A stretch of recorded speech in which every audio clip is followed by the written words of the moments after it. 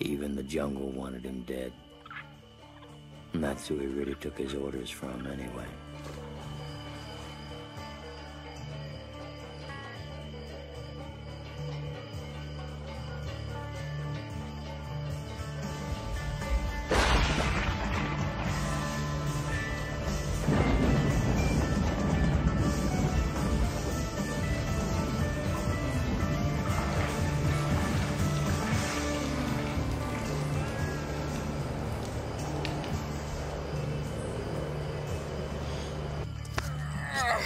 Sorry, my intros are a pack of lies.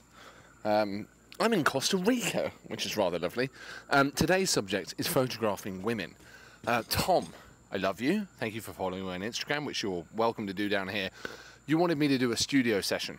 Um, I'm in Costa Rica. Um, I'm in a very nice part of town, but excuse me. Um, I'm not going to be able to do a studio session for you, but I'll do one when I get back to New York. But it got me thinking. Yes, it did. Um, Today's topic is photographing women. How to do it better, how to. I know it's just not, not a question of how to do it better, but these are like 10 principles to bear in mind when you're photographing any women your mum, your sister, your mistress, your auntie, a model, a professional model, an Instagram model, the worst of all of the peoples. Um, I made a list of 10 things you should think about. I know, I know, I'm getting better at YouTube. I've got a microphone, there's some semblance of professionalism forming on this channel. What a delight. Um, the plan for this, at least in my head, is film a funny intro, which should have happened. and then it's to overlay this with shots I took of my girlfriend. Beepity beep beep beep uh, for people that follow that show.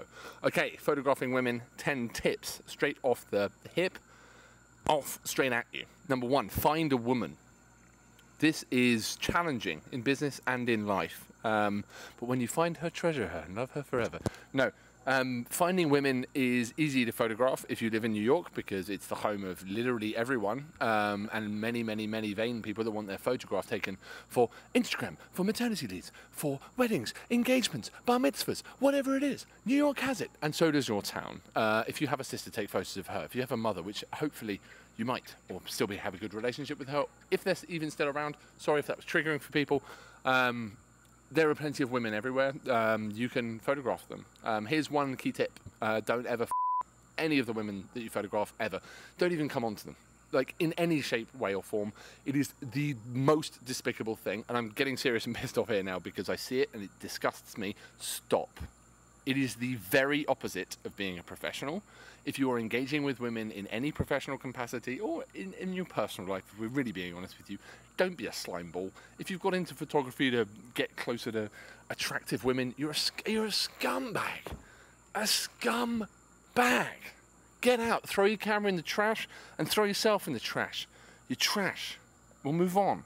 Um, anyway, Otherwise, you can go into a DM, you can reach out to people, do so cordially, do so professionally. Remember, your reputation matters. Um, you will destroy your reputation, and be very careful of the male gaze. There are so many minefields uh, for photographers now, and it's not because the world's gone PC mad, it's because stop being a creep. I mean it. Point number, I've forgotten what point number two is. What's point number two? Falling. okay, so point number two is going to sound contradictory to point number one, but it shouldn't be if you have half a brain cell. Point number two Tip number two fall in love with the women that you shoot. Not in a sexual way, but fall in love with them, right? Really make that. Uh, I stole this advice, by the way, from Peter Lindbergh, who's a slightly better photographer than me. And he has this beautiful quote where he says, um, Every single day, I fall in love with the women that I shoot, and then I go home to my wife. That's the energy you want. Big, bring big, bear I hope in the time between now and it get published, he doesn't get cancelled. I mean, he's dead, um, but that doesn't stop you getting cancelled for being a douche. Um, he's a big bear of a man, and women, models, and everyone else like that loves working with him because he makes everyone feel so safe and so respected. And he's very, he pays a deep, deep, deep level of attention to people and falls in love with women. And that's perfectly acceptable because you need to do that for your art. Don't do that for your knob. Um, or if you're a woman, don't be a creep as well. Three, location. Pick a good one. Um, not really sure where I was going with that. Actually, maybe this is me going to put some B-roll of driving to this glorious beach. So we did a beach shoot, and we did a shoot up in the morning. Uh, my girlfriend's a fashion designer. She's extraordinarily talented. I wanted to capture her, uh, both for my own personal love for her, but also to help sort of articulate the strong and independent, incredible woman that she is. Um, I've posted the finished photos to Instagram and I will post the finished image today. Isn't that exciting? Yay! Tip four feed her. Nobody likes to be hungry. Um, I fed my girlfriend seafood from the Caribbean. Um, if you can feed your models, uh, they will appreciate it. Again, don't come in with a pork pie. Uh, we want to be coming in with some appropriate snacks. Nobody wants to feel bloated, but people don't want to have energy. Bring Haribo to your shoots. You'll make a lot of friends very fast. Uh, number five, study the poses that she likes and study poses in general. Studying poses is probably one of the best places that you can spend your time as a photographer. Uh, learning how to work and articulate people's bodies and what works for them, what light is good, what movement is good, what positions are good. This is a lifelong study, um, but study, study. Um, you can get a little insight because every single person knows their good side and their bad side. Not that those things exist, um, but absolutely um, this is your customer, so be professional and put your work in. And uh, be professional, drink beers, smoke cigars, lad. Um, okay, point number six: uh, pick your light. Light's everything. Photography, the study of light. Early mornings, dusk, golden hours. Uh, if you can't find it, diffuse it. If you're in a studio setting, be good at studio lighting. Studying lighting is your job. This is the job of a photographer to study light. Study it. Uh, study it all the time. Um, that's an easy point six. Number seven, build confidence and not discomfort. Oh my God, this could not be more evident in people. You can see discomfort, people that are uncomfortable in front of cameras. Models are uncomfortable in front of cameras. It's so obvious, and it's you. It's your fault. You. It's your fault as a photographer if you're making your subject feel uncomfortable. There is no excuse for it. None at all. Develop a personality. Develop interests. Learn how to talk to people learn how to make people comfortable. Treat people respectfully. It means so much if you can put a model at ease because it's horrible. If you've ever tried being on the other side of the camera, it is a miserable experience. And believe me, it is. I hate having my photo taken, unless it's a great photographer because they make me feel sexy when I have to take off my underwear. so, number eight, no smiles. I have a policy of no smiles. I break it all the time. Um, a smile tends to be the guard that someone puts up. Uh, so if they're trying to do like mm, Instagram, I hate Instagram so much, but I also use it all the time. Um, we all have that relationship. Maybe that's another video. Make sure that they're not every photo isn't just because mm, it's, it's it's hideous. It, it's it's a really awful thing. It, it puts all the guards up. Get to know that person. The eyes are the window to the soul, my friend. The eyes. Tell them to stop smiling, but don't don't make it unenjoyable. Number nine, racing through these. Such professionalism outfits. Discuss outfits.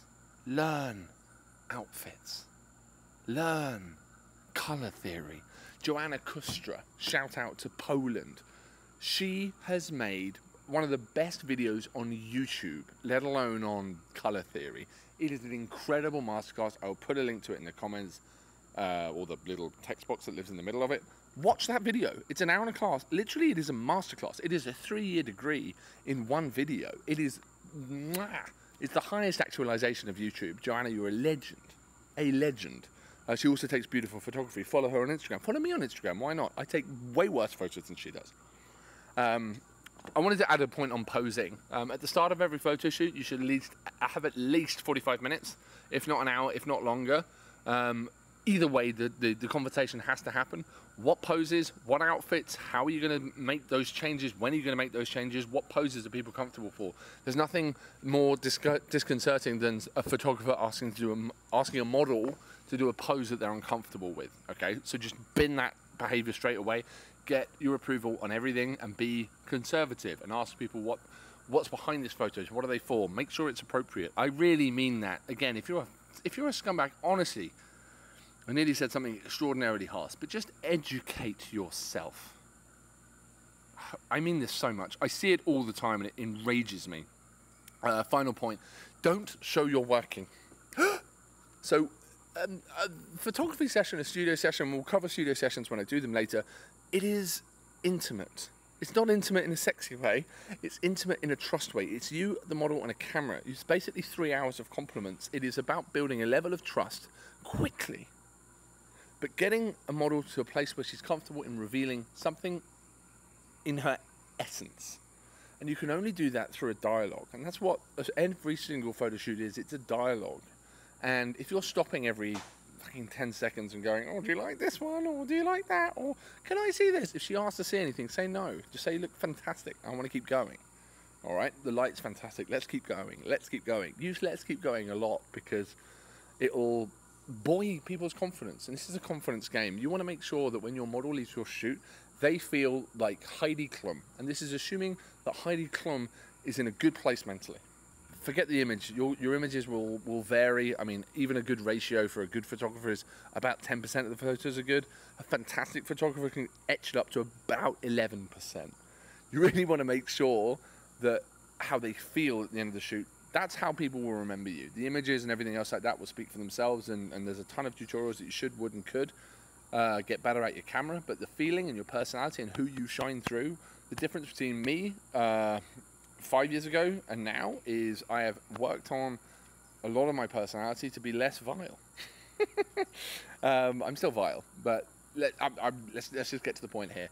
Your photography can only get to a certain level on a technical basis. If you're working with people, if you're not working on your people skills, you are literally going to stay at a level for your whole life. If you really want to up your game and, and, and start seeing the difference in good and great, it's all in the way that the photographer is able to communicate with their subject. That to me is, is literally everything. It, it's what I spend most of my time working on now. It's just started to rain in paradise. It's difficult to be upset though. I love you. If you enjoyed this content, um, there's a red button with the word on it, um, which you should click, and you should feel so empowered clicking that. So beautiful clicking that. um, don't be a creep. That's the message of this video. I love you all. I hope you enjoyed this. Slightly different format. Take care. Be kind. Be good. Keep snapping. Cliche. Catchphrase. Buenos noches.